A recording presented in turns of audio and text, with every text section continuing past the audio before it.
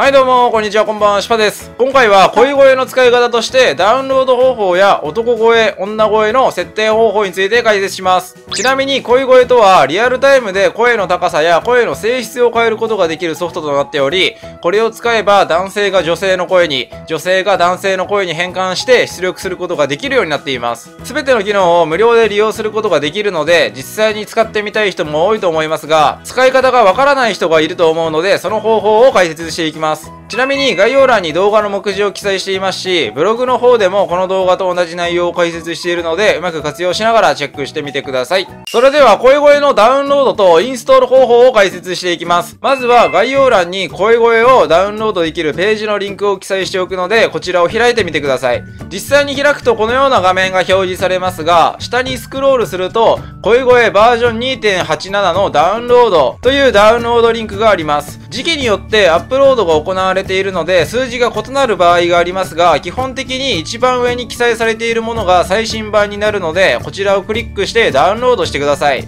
ブラウザで Chrome を使用している場合、画面左下に圧縮ファイルがダウンロードされるので、こちらをドラッグしてデスクトップ画面にドロップしてください。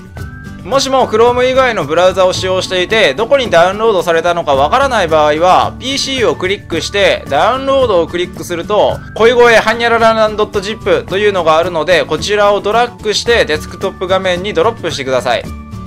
次に圧縮されているので解凍してあげる必要があります。圧縮ファイルの上で右クリックして、すべて展開をクリックしてください。すると、このような画面が表示されますが、展開をクリックしましょう。すると、このようにファイルが展開されました。使用している PC の OS が 64bit の場合は、恋声 X64.exe をクリックしてください。32bit の場合は、恋声 .exe をクリックしてください。もしも自分の PC の OS が64ビットか32ビットかわからない場合は、Windows 10ならデスクトップ画面で右クリックした後にディスプレイ設定をクリックします。すると、設定画面が表示されますが、画面左にあるバージョン情報をクリックして、デバイスの仕様の欄にあるシステムの種類をチェックすることで64ビットなのか32ビットなのか確認することができます。恋声 X64.exe もしくは恋声 .exe をクリックするとこのような画面が表示されれます。ここから声声の初期設定を行っていくのでしっかりと確認していきましょう。まずは声声の初期設定としてマイクとスピーカーの設定を行います。マイクやヘッドホンを PC に接続してから画面右下にある設定をクリックしてください。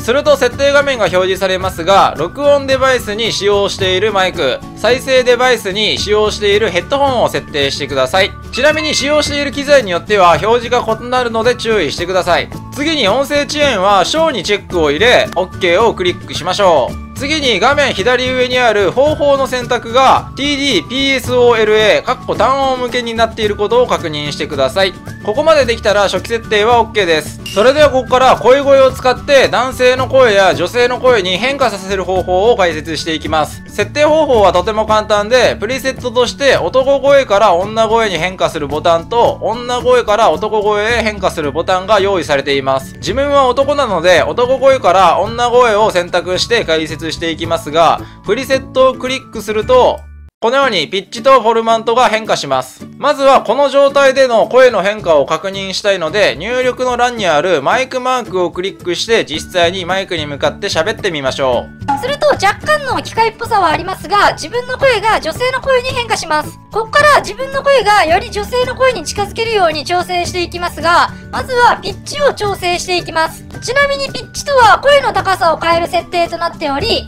数字が高いほど高くなり、数字が小さいほど声が低くなります。この設定は地声の高さによって変わってくるので、自分でちょうどいいなと思うところを見つけてください。ただ注意点として、デフォルトの設定値でもある200%を超えてしまうと、機械のような声になってしまいますし、ノイズも入ってきてしまうので、最大でもデフォルトの数値よりも超えないようにするのがおすすめです。ピッチの設定ができたら、フォルマントの設定を行いますが、フォルマントとは声の性質を変える設定になります。これはピッチの数値によって設定も変わってくるので、数値を上下させてちょうど良いところを見つけてみてください。ちなみに、声声を一度閉じてしまうと、設定が初期化されてしまうので、設定を保存しておくのがおすすめです。コントロールを押しながら1から4までのどれかの番号をクリックすると設定内容を保存することができます。また、設定を呼び出すときはその番号をクリックすることで呼び出すことができるので覚えておきましょう。次にエフェクトというボタンがあるので、こちらをクリックしてください。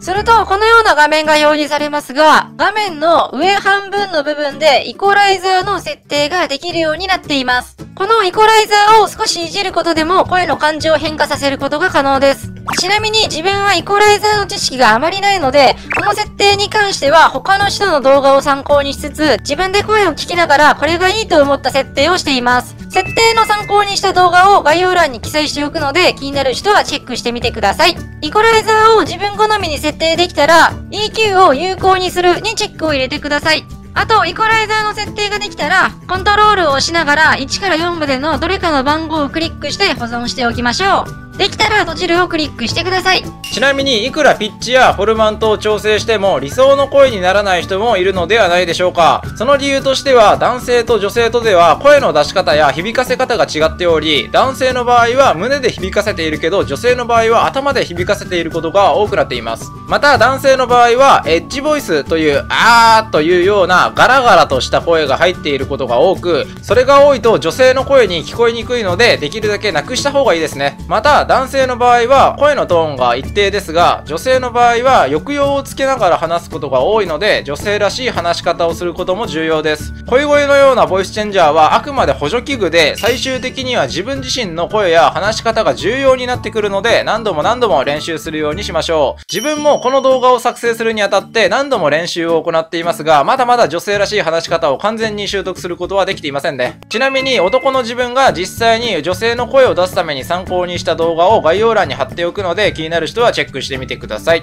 ここまで声声の設定をして女性らしい、男性らしい声を出すことができたら、その音声で録音や録画をしてみたい人もいるのではないでしょうか。まずは録音についてですが、声声の画面右下にある設定をクリックしてください。次に出力ウェーブ、ダンプの保存先というところにある横3点マークをクリックしてください。フォルダーの参照という画面が表示されるので、自分が保存や管理がしやすいところを選択して OK をクリックしましょう。設定画面に戻るので OK をクリックします。次に画面左下にある出力音声をファイルに保存するにチェックを入れてください。できたらマイクマークをクリックすることで録音をスタートすることが可能です。次に声声の音声で録画を行う方法についてですが、OBS を使って録画していきます。しかし、この動画で解説するとものすごく長くなってしまうので、別の動画にて解説する予定です。やり方を解説した動画やブログ記事を投稿した場合は、概要欄にリンクを記載しておくので、気になる人はチェックしてみてください。はい、これで今回の動画は終わりににしたいと思いますが、このチャンネルではこういった感じで、YouTube 活動で役に立つ情報や OBS の各種設定方法、